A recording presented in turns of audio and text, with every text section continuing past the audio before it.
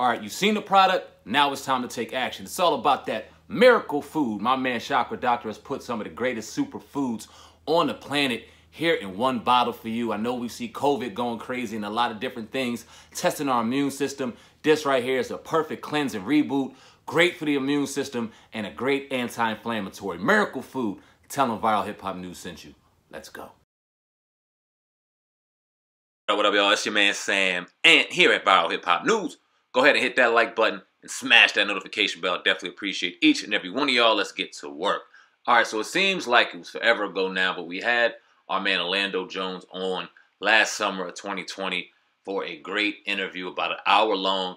And during that time, in that interview, he was giving some of the details on why he was fired from the series American Gods, which was playing on Starz. He played the character Mr. Nancy, aka Anansi.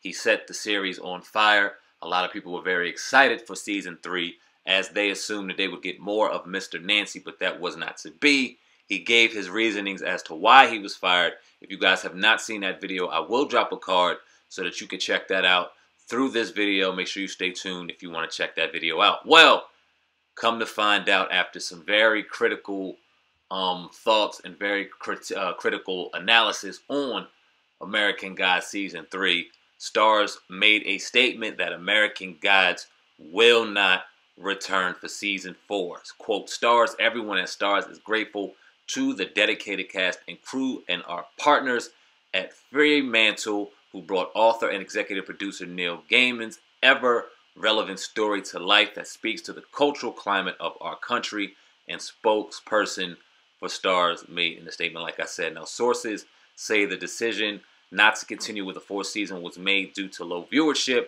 with multi-platform viewership declining 65% from the show's first season to its third. Um, we we kind of assumed this would happen. Like I said, Orlando Jones's character played a very pivotal role in that series. I think that they may have slept on how pivotal it was.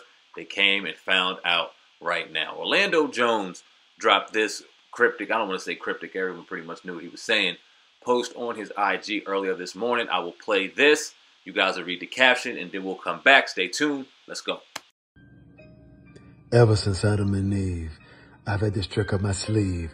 They try to kill me, I won't leave. I come back like a snapback, won't be no one left when I leave. I'm from a different dimension. I travel in parallel dimensions.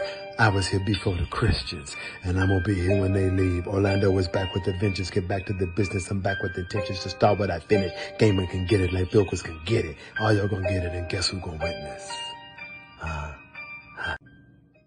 And there you have it. Orlando Jones dropping bars. Obviously, very happy or it pleased that American Gods will not continue with season four. He wrote in his caption, American Gods season four, and a bunch of laugh emojis. Look, he pulled no punches on how he felt about producer, writer Neil Gaiman and his treatment on the show.